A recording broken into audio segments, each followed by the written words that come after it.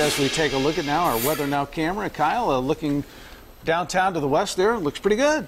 Pretty nice out there this evening. We're not going to have any precipitation to talk about tonight, and temperatures that, again, a little bit on the cool side, but today felt a lot better. We had some sunshine around and temperatures that finally got back into the 60s. And we can turn that heat off for a while. Uh, for a little bit, yeah, we're going to continue to climb this temperature ladder. Right now, we're still holding on to the low 50s in the Circle City at 51 degrees. Winds pretty light out of the east southeast at 6 miles per hour.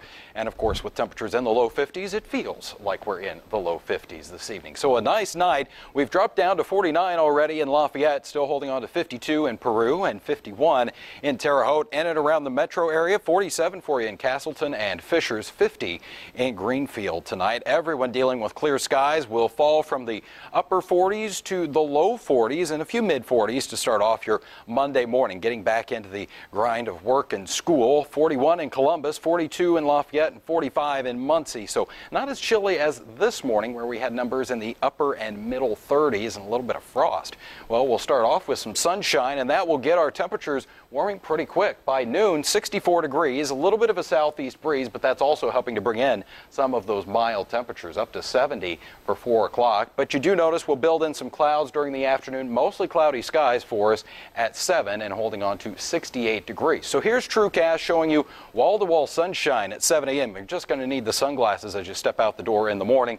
Then as we look to the afternoon, yeah, it starts to look a little ominous. Those clouds will be moving in by lunchtime and a little bit of rain out in Illinois, but it looks like that's where it's going to mainly stay. Maybe a sprinkle around Lafayette. Otherwise, we're just going to increase the clouds the second half of the day, but 99% of us look to stay dry. Highs tomorrow afternoon, 68 for you in Muncie, 69 in Lafayette, and 71 in Bloomington. And then we're going to get even warmer as we look to Tuesday. A warm front lifts to our north, and that will bring in the warmest temperatures we've had since last Tuesday. That was the last time we had a high of 80 degrees, and we'll do it again this Tuesday after starting off in the 50s up to 81 with partly sunny skies. Seven day planning forecast shows next chance for showers and storms moves in here Wednesday evening. That cools us back down to highs in the 70s. Pretty seasonal for this time of year. And again, the Indy 500 right now, partly cloudy and 78 degrees. Love to see those suns on your 70 forecast. We need some dry time yeah, and some do. warm time. Thank you, sir.